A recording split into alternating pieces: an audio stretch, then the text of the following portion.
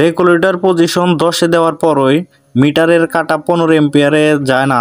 এই সমস্যাটি আসলে কীভাবে সমাধান করবেন? তো এই যে মিটারটি দেখতে পারতাছেন, এই মিটারের কিন্তু কাটা কিন্তু একদম পনেরো এম্পিয়ারে চলে গেছে। তো সেক্ষেত্রে কিন্তু এটি হান্ড্রেড পার্সেন্ট ভালোভাবে চার্জ হবে। তো রেগুলেটর যে পজিশন আমাদের এখান থেকে এক থেকে দশ পর্যন্ত, তো কিছু কিছু ক্ষেত্রে দেখা যায় যে রেগুলেটরের যে পজিশনগুলো, এটা দশে দেওয়ার পরও মিটারের যে কাটাটি আছে, তো সেই কাটাটি খাড়ায় না। তো সেই ক্ষেত্রে এটি আপনি কীভাবে সমাধান করতে পারবেন? তো আজকের যে এই মিটারটি এই মিটারটি কিন্তু দুইয়ে দেওয়ার সাথে সাথে কিন্তু মিটার একদম কাটাটি খাড়া হয়েছে। তো সেই ক্ষেত্রে দশে দেওয়ার পরে যদি মিটারটি আসলে না খাড়ায়, সেই ক্ষেত্রে আপনার করণীয় কি? সেই সম্পর্কে কিন্তু আজকের এই ভিডিওটি তৈরি করা। তো না টেনে অবশ্যই সম্পূর্ণ ভিডিওটি মনোযোগ দিয়ে দেখবেন এবং চ্যানেলটিতে যারা এখনও সাবস্ক্রাইব করেন নাই, অবশ্যই চ্যানেলটিতে সাবস্ক্রাইব করবেন। আর যারা অলরেডি সাবস্ক্রাইব করেছেন, তাদেরকে অসংখ্য ধন্যবাদ।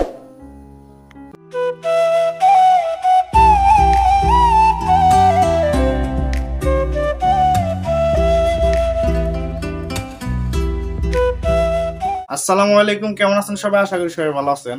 বিনিময় ইলেকট্রিক্যালের পক্ষ থেকে সবাইকে আন্তরিক শুভেচ্ছা অভিনন্দন। আজকের যে ভিডিওটি থাম্বেল দেখে অনেকে হয়তো বুঝতে পেরেছেন যে আজকের ভিডিওটি কি প্রসঙ্গে হতে পারে। তারপরও বলতেছি, আজকের যে ভিডিওটি, সেই ভিডিওটি হচ্ছে ব্যাটারি চালিত ইজি বাইক চার্জ করার জন্য আমাদের যে চার্জারটি আছে, তো রেকর্ডার পজিশন কিছু কিছু ক্ষেত্রে দেখা যায় যে দুই তিনে দেওয়ার পর পরই মিটারটি পনেরো এম্পিয়ারে যায়। তো কিছু কিছু ক্ষেত্রে দেখা যায় যে মিটারটি সিলেক্টর যখন দশে দেওয়া হয় রেগুলেটার তারপরও মিটারের যে কাটাটি আছে সে কাটাটি খাড়ায় না। তো সেই ক্ষেত্রে এটি কি রকম প্রবলেম হতে পারে? এবং দশে দেওয়ার পরে যদি মিটারটি না খাড়ায়, তাহলে কি গাড়িটি আসলে চার্জ হবে কি না? এবং এটি কীভাবে আসলে সমাধান করা যায়, সেই সম্পর্কে কিন্তু আজকের এই ভিডিওটি। তো শীতের সময় আমাদের যে ভোল্টেজগুলো থাকে, শীতের সময় বাসা বাড়িতে আমাদের যে পরিমাণ ভোল্টেজ থাকে, তো গরমের সময় কিন্তু সেই ভোল্টেজটা কিন্তু অনেক গুণ কম থাকে। তো শীতের শেষের দিকে প্রায় গরমের শুরু। তো এই ক্ষেত্রে কিন্তু এই প্রবলেমগুলো বেশি দেখা যায়। তো শীতের সময় কিন্তু আমাদের ভোল্টেজটি বেশি থাকার কারণে সেটা কিন্তু দুই তিনে দেওয়ার সাথে সাথে কিন্তু মিটারটি পনেরো এম্পিয়ারের যে পৌঁছাতো। কিন্তু এখনকার যে ভোল্টেজের যে সিস্টেমগুলো সে ভোল্টেজটা কিন্তু আগের তুলনায় অনেকটাই কম।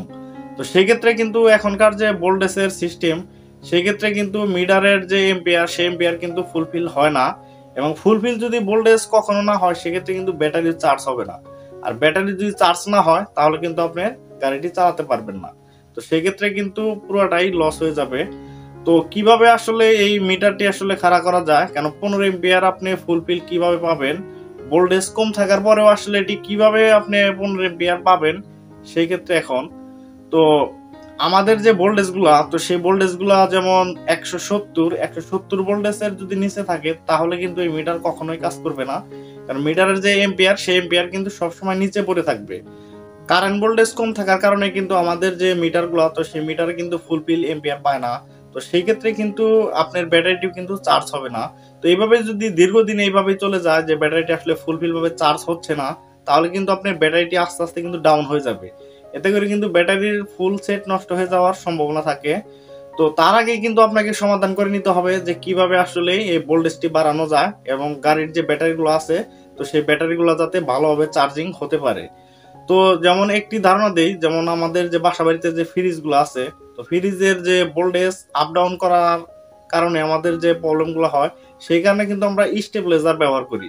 তো ফ্রিজের এম্পিয়ার কম এবং লোড কম হওয়ার কারণে এক হাজার বিয়ে স্টেবিলাইজার দিয়ে কিন্তু ভালোভাবে চলতে পারে। কিন্তু এখানে কিন্তু এক হাজার বিয়ে যে স্টেবিলাইজার আছে, সেটা দিয়ে কিন্তু অটোর যে ব্যাটারিগুলো আছে, পাঁচটি ব্যাটারি কিন্তু চার্জ হবে না। তো সেই ক্ষেত্রে কি করণীয়? সেই ক্ষেত্রে হচ্ছে করণীয় হচ্ছে, এই স্টেবিলাইজারের সিস্টেমই স্টেবিলাইজারের সিস্টেম করে একটি বোল গার্ড অথবা স্টেবিলাইজারও বলা যায়, সেই রকম সিস্টেম কিন্তু তৈরি করে নেওয়া যায়।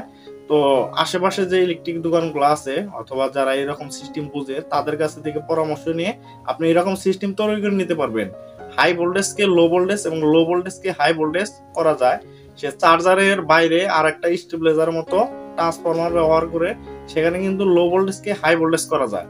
এবং এইভাবে যদি আপনি ভোল্টেজটি বাড়িয়ে নেন, তাহলেই কিন্তু আপনি গাড়িটি হান্ড্রেড পার্সেন্ট পিওর ভাবে চার্জ হবে। এখানে আপনার কাটা দুই থেকে তিনে দেওয়ার পরে পরেই দেখবেন যে মিটারে পনেরো এম্পিয়ার একদম সবুজ দাগে চলে যাবে। তো সেক্ষেত্রে কিন্তু আপনার ব্যাটারি আর নষ্ট হবে না।